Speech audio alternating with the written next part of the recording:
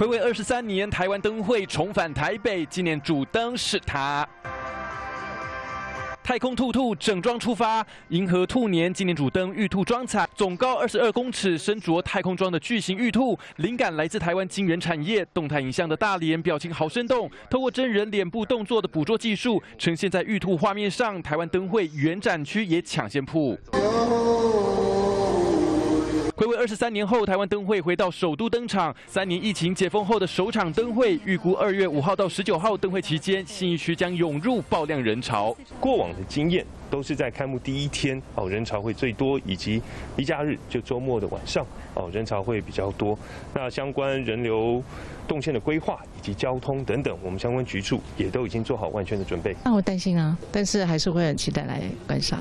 如果是在新一区的话，那应该是还可以期待一下。台湾灯会在台北地标一零一信义区最繁华商圈展出超过三百件的灯饰作品，要陪伴民众喜迎兔年。记者杨奇浩、王志恒台北采访报道。